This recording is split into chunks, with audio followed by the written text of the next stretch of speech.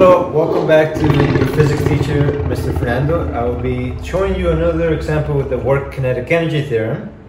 So in this question here, we have a 2,100 kilogram car. It's starting from rest and it, it is accelerating at 2.6 meters per second square for four seconds. Assume that the force acting to accelerate the car is in the same direction as its motion. How much work has the car done? All right, so this is a pretty easy question if you think about it. We have a car, starts from rest, and it begins to move. In other words, it accelerates, and it accelerates for a period of four seconds. So how much energy was required in order to make this car move with this much acceleration for that duration of time? So with these kind of questions, like I mentioned before, a good strategy is to always draw your situation, but always need to identify the initial conditions and your final conditions. So you want to draw the car initially. Whoops, let me draw that better. And you want to draw your car at its final conditions. All right, so that's a good strategy with the energy unit because you're always looking at what the what are the energy changes taking place. So we have initial and final. So we are assuming that we're on a horizontal surface and since it is the force is making this car accelerate in the same direction, let's just make it as simple as possible and assume it is to the right. So that displacement is taking place to the right. So the main equation that we're going to work with is the work kinetic energy theorem which is the work done by the net force, is equal to the change in the object's kinetic energy. This formula is really helpful because we don't even need to know what are the forces acting on the car. All we really need to know is what is the change in energy, specifically kinetic energy, which depends on the initial velocity and the final velocity. So the initial velocity Oh, the car starting from rest. So if it starts from rest, the initial velocity is zero. The final velocity, we don't know. So we're going to leave it as an unknown. So put a question mark, right? Initial velocity, final velocity. And the car, it is accelerating. So the direction of acceleration, we're assuming is to the right because it is speeding up in that direction with 2.6 meters per second square. Good. And they also gave us the mass of the car, so we could label that as m equals to 2,100 kilograms. Good. So using the work kinetic energy theorem, we don't need to know the forces. All we really need to know is the change in velocities and the mass of the object. So we can rewrite this equation as work equals to final kinetic energy minus initial kinetic energy. And we're going to use the formulas for kinetic energy. Recall, kinetic energy is just a half mv squared. So for the final conditions, we can replace this as a half mv final square minus a half and the initial square. And that will give us the work done, which is what the question was asking us, right? How much work has the car done? Well, that depends on how much kinetic energy has changed.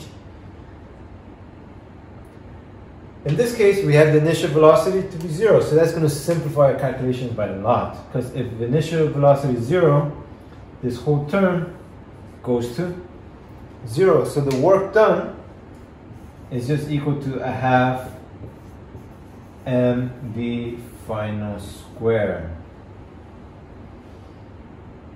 Hmm. So we're looking for work, we know the mass, but we don't have the final velocity. Whenever we're stuck, again, we're never really stuck because now we're unit 3, we have unit 2, which are the forces to rely on, but in this case, we're missing the final velocity, so we're going to think back to kinematics. So let's recall the kinematics equations. So from kinematics, we want to pick one of the equations, specifically one that relies on the time because they don't give us a displacement. So we want an equation that had to do with time. So there's two possible candidates here. Delta D equals to V initial delta T plus a half A delta T squared. Okay, but we don't know the displacement, so we don't know, oh, we know the rest, but the initial velocity is zero. Okay, so here we could solve for delta t. Ah, but you know what? There's an easier equation we can use, right? Because the equation to calculate the final velocity is just equal to the initial velocity plus a delta t. So if we use this equation, again, we could have used the previous one, but if we use the previous one, then we have to use another equation which will make it more complicated. So easiest will be to choose the second one here. So the final velocity equals to the initial velocity plus acceleration times the change in time. In our case, the initial velocity was zero, so we can make this term go to zero and rewrite the equation as the final velocity equals to the acceleration times the change in time.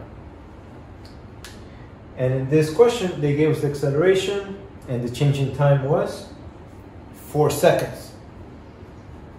So let's substitute this new equation into the one that we got stuck previously. So we can find the work done in order to make this car accelerate with that much for that long. A delta t all squared.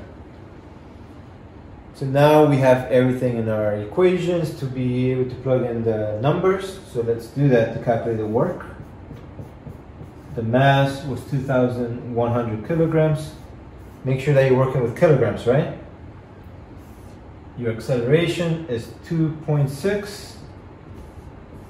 The time was 4 seconds. All of that will be squared.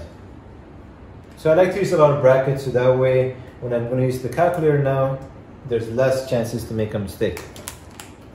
So let's calculate this.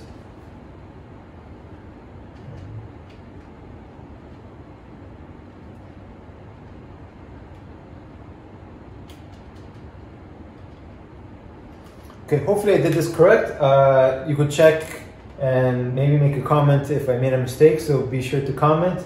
Uh, you could also comment if you have any other questions about any of the work that we did today. So the work equals to 1,103,568 joules.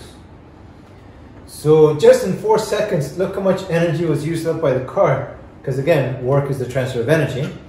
So 113,000 joules. That's a lot of energy being used up to make it go for four seconds. Imagine when you're driving for a whole day. Hmm.